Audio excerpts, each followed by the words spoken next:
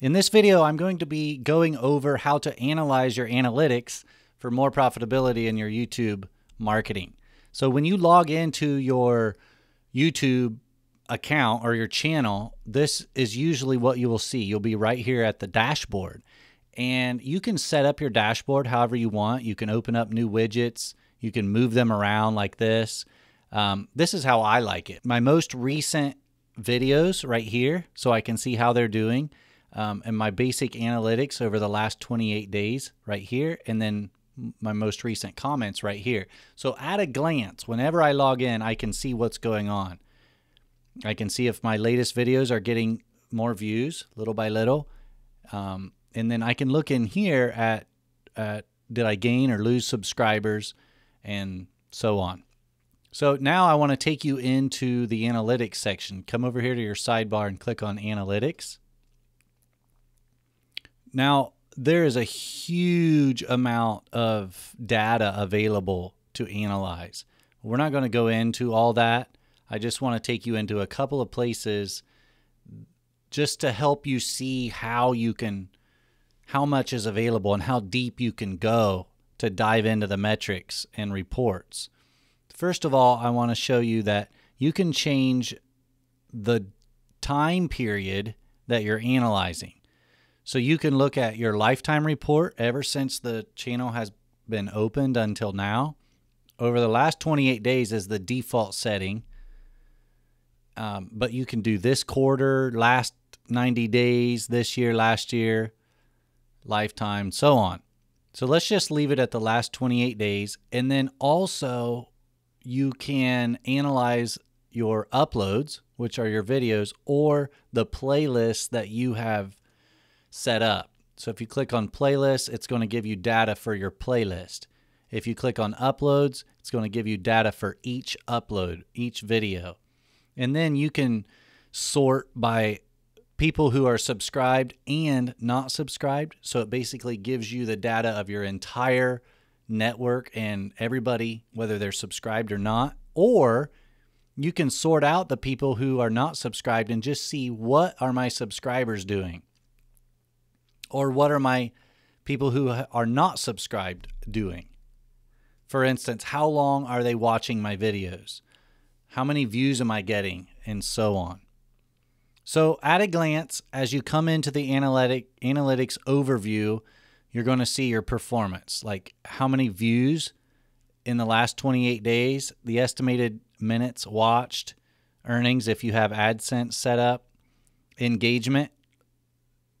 See, this is comparing to my previous period, which was the 28 days before this period of 28 days, and my likes are down, but my comments are up.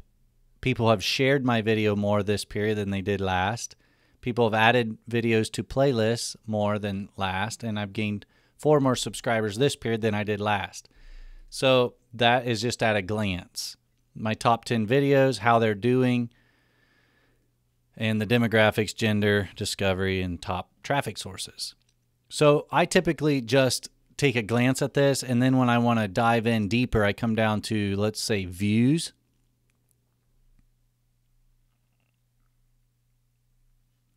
and then you can check your your views right here like my top video that it gets the most views is how to fast forward in slow motion on iMovie 11. I can click on that then and dive in deeper and find out what part of the world most of the people were watching it in.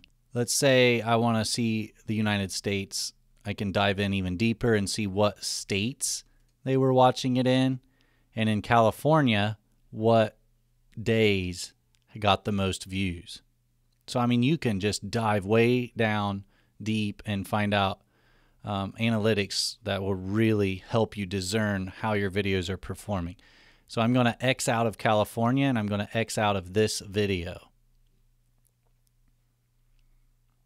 and I'm going to click on views again to refresh this page. Now, it's very important that you X out of these parameters that you clicked on, or else when you go down to a different, like if I went to demographics and those were still and California was here and that video was still here, it would show me demographics for those videos and for California. So you have to always X out of those parameters so that it will have a clean slate. Now, demographics, this section is interesting. So this is telling me that 52% more males, I mean, 52% of my audience is male and 48% is female. And this is where um, and then United States, United Kingdom, and so on. And I could dive even deeper. It's good for you to know this kind of stuff so that you can create videos for the audience that is coming to you and find out what's working. Audience retention is another good one to check. So, this is showing how well they watch your video. Now, you can see average percentage viewed over here on the right and some of my videos they are dropping off at like 18%. That means they're only watching the first 18% of my video and then jumping out. Others are a lot longer. Um, I would like to see people staying with my videos until the end. So th- that's just showing me that I need to improve the watch time on my videos. And then engagement reports. You can look at your say likes and dislikes and find out which videos got likes, which got dislikes, which videos were added to playlists, and so on. So I hope you can see that by taking time every day or once a week or even at the least once a month, coming in here and analyzing this data, you can find out what's working and what needs to be improved and make your channel much more powerful. And that's the whole point of this lesson is to get you in to your analytics section so that you can have a better channel, more profitability, and better results. If you're like most small business owners and entrepreneurs, you struggle to figure out this internet thing and how to grow your business.